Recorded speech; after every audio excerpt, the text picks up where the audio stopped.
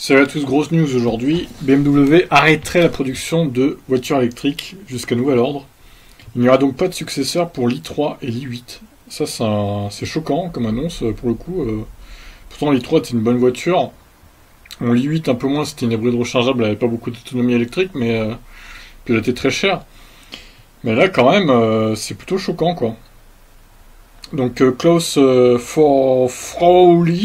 voilà, c'est un nom que peu de consommateurs connaissent. Pourtant, chacune des innovations apportées par le constructeur automobile bavarois ont eu besoin de son aval pour pouvoir être implémentées. Il ne s'agit en effet ni plus ni moins que du responsable du département du développement chez BMW.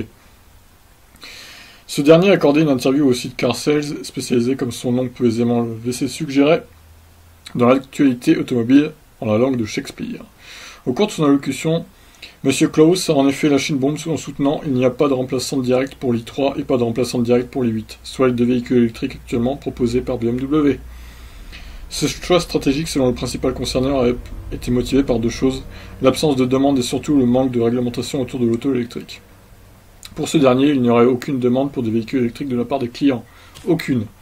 Les organismes de réglementation et les sphères politiques agiteraient l'échiquier afin de persuader les consommateurs de passer à l'électrique mais l'intérêt pour ces véhicules serait uniquement lié à leur fonction gadget de muse futuriste. De muse futuriste. D'accord, le mec euh, complètement anti-électrique en fait. Deux derniers modèles cependant, bien que BMW se retire officiellement jusqu'à nouvel ordre du marché de l'électrique, la firme entend mener à bien deux de ses derniers projets dans le domaine, le SUV iX3 et la berline i4. Pour rappel, ces deux modèles jouissent déjà de prototypes et ont été dévoilés durant les salons auto Genève et Shanghai. Seul bémol, ils arriveront en 2021 à des tarifs faramineux d'après les rumeurs. Autant dire qu'ils ne seront pas donnés et n'auront du coup aucun intérêt. Surtout dans un contexte où Renault et Peugeot, mais également Volkswagen, Skoda, Mini, Mercedes et Volvo aiguisent leur lame en vue d'officialiser les flottes entières de véhicules électriques à bas coût. Avec un beau Kona en illustration du coup. Sans oublier la féroce concurrence venue d'Asie, notamment grâce à Nissan et sa Leaf i+. Hyundai Kia dispose de berlines et de SUV électriques ou à hydrogène, les Ioniq, Kona, Iniro et Suivi. Ok, bon, bah écoutez, euh, d'ailleurs j'ai vu un autre article concernant plus d'interviews de ce qu'il disait le mec là, sur BFM Business du coup. L'autre c'était euh, vivredemain.fr pour information.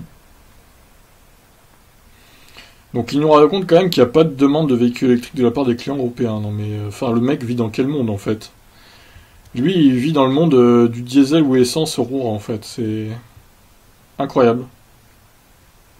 Ce sont des voitures très chères et les Européens ne voudront en acheter qu'en fonction des aides gouvernementales et des subventions. De plus, en Allemagne notamment, rouler électrique devient plus coûteux que de rouler au diesel au vu de la dynamique des prix de l'énergie. Sans même parler du manque d'infrastructures qui est un vrai frein à la demande.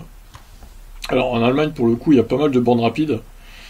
Donc, euh, puis elles sont plutôt fiables, contrairement à la France. Alors certes, le prix de l'électricité en Allemagne est beaucoup plus cher, c'est minimum 30 centimes d'euros le kilowattheure.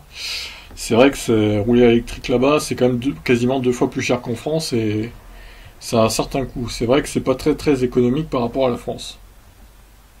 Bon après c'est pas non, non plus 1 euro le kilowattheure, je veux dire, hein, ça va quoi. Le patron du développement de BMW, constructeur qui a choisi l'électrification comme relais de croissance, ne voit pas dans la voiture électrique un vrai marché des déclarations qui ont fait réagir le petit monde de l'automobile avec un peu de scepticisme. BMW cherche un peu le coup d'éclat là-dessus, dit-on, au comité des constructeurs automobiles françaises. La marque tient là un discours de constructeur haut de gamme avec ses préoccupations, ses impératifs de rentabilité et de prix.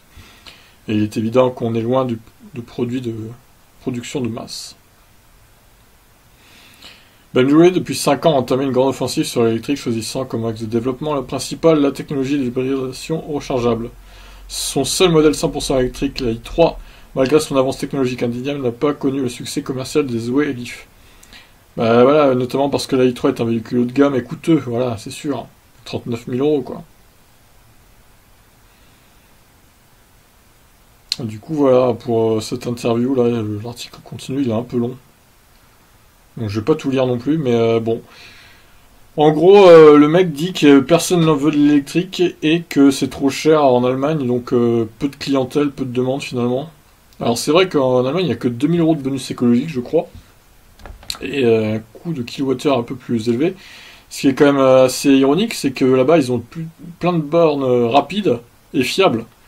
Alors qu'en France, nous, c'est pas cher l'électricité par rapport à d'autres pays, et au final, on a des bornes rapides qui marchent une fois sur deux, voire une fois sur trois, et qui on n'en a pas énormément par rapport à la taille de notre pays, quoi.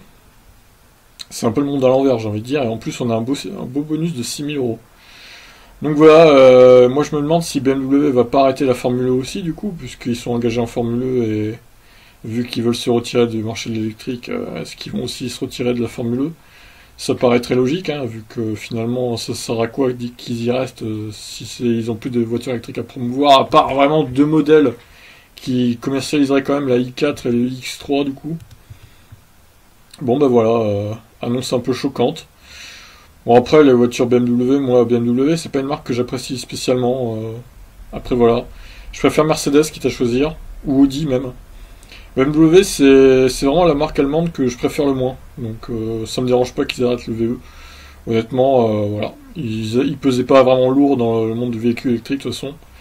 Donc j'ai envie de dire c'est pas une grosse perte et vu les déclarations du gars là il y croit pas donc bah, qu'il reste tout diesel hein, avec ses malus et tout donc voilà. Bah vivement que BMW change de directeur, euh, voilà, parce que sinon, euh, bah ils avanceront pas quoi. Enfin c'est pas vraiment le directeur, c'est le responsable du département du développement, donc euh, voilà. Après, bah qui reste au diesel, écoutez, hein, j'ai envie de dire. Sur ce, je vous laisse. Ciao